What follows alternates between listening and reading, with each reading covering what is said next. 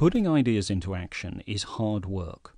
Lots of things can go wrong, and you'll probably experience disappointments along the way. However, you know it will all be worthwhile when you've succeeded. So, how can you increase your chances of success? Well, in an earlier program, we talked about the importance of having a problem solving map to guide you through the process. Now, that map was quite high level. It's a bit like having the directions to drive between cities, but no details once you arrive in the general area.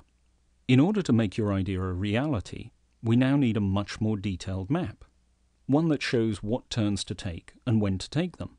However, unlike the problem solving map, this one is going to be created entirely by you. Let's get going. Please grab your workbook and turn to the page labeled Planning Your Big Idea. Write your big idea at the top. Make sure you write the full description because this helps in the planning process. We're going to create a list of all the tasks necessary to make your idea come to life. One very simple way to do this is to ask yourself the question in order to have, in our case, started our rock carrying fitness business, what must I have done? And then to list everything you can think of.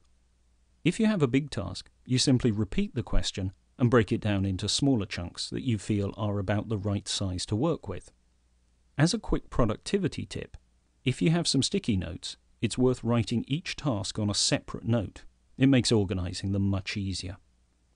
Once you've generated your task list, you can switch on convergent thinking and select all of the tasks that you think are essential to reaching your final big idea destination. If you want to create the list now, you might need to pause this program and come back when you're ready. Okay, you now have the list of tasks that you have to complete but they're not necessarily in the right order. So now you have to create your timeline. Let's begin. Flip to the next page labeled Short Term Tasks. You'll see four columns Task, Who will do it, By when, and Check. Starting with the first column, Tasks, review your list of starred tasks and select those that should be completed within the next two weeks. Individually list each task in the first column. Once you've done that, you can move on to column 2 who would do it.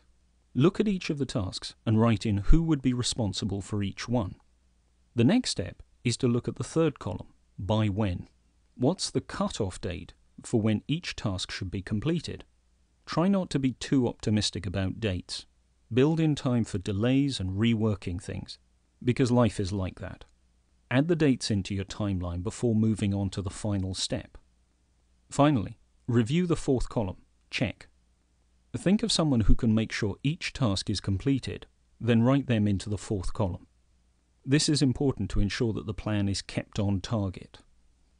Okay, you now have your list of short-term tasks.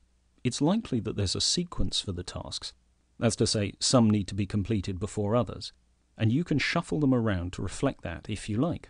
However, don't spend too much time doing this, because plans have a funny habit of changing. Next, Flip to the next page in your workbook, the one titled Intermediate Tasks. Now, intermediate tasks are those tasks that would be completed within the next three months.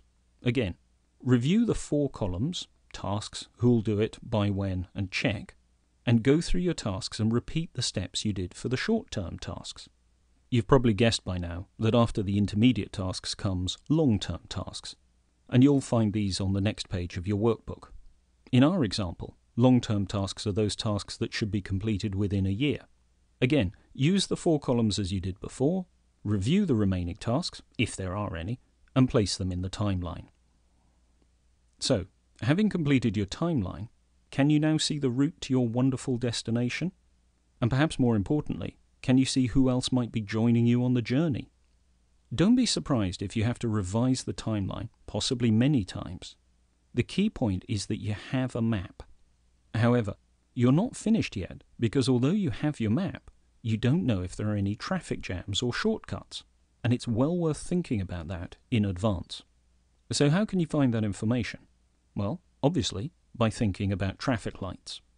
Imagine that all the people and resources you need are like traffic lights, and that depending upon their colour, they can either help or hinder you. Now, if you're an optimist, you'll probably assume that they will all be green. However, the realist in you might just like to check, and this is one simple way to do that. please open your workbook and turn to the red light, yellow light, green light page. Start with the green column and think about all of the things that will help you get to your big idea the quickest. For example, our big idea is to develop a rock carrying fitness business. Our green light factors include things like we have lots of rocks in our back garden, people in our family love collecting rocks, and Uncle Ernie is a former miner and he will give us financial support. Take a look at your own big idea and consider all the green lights you have. Think about issues of time, resources, and people. Try to be as specific as possible. Next, we'll look at the yellow light column. Yellow light items include anything that you're unsure whether or not they would support your idea. For example, you may worry that your neighbours wouldn't appreciate your running the business from your house. However, they may love the idea and want to get involved. Write down all of the uncertainties in the yellow light column. They'll stay here until you've gathered enough information to put them in either the green or the red columns. Finally, move to the red light column. What are all the things that are going to stop you from reaching your destination? Instead of listing them, write them out in the how to format that we've used in previous programs. For example, instead of writing, we don't have enough money to market our business, we could change it into how to get the money to buy advertising. We already know Uncle Ernie will help, but are there other sources of funding? Write down the other sources of funding, either in the green light, if they certainly will help with the funding, or in the yellow light if you're unsure. Continue to generate a list of how-tos in the red light column. Remember, if you find sources that help to overcome your red lights, then place them in the appropriate category. The purpose of this traffic light tool is to get an overview of the things that will help or hinder you from reaching your big idea destination. Spending time thinking about these factors can be enormously helpful in avoiding roadblocks and finding shortcuts. For homework, we'd like you to do absolutely nothing. Have the evening off and enjoy yourself. See you in the next program.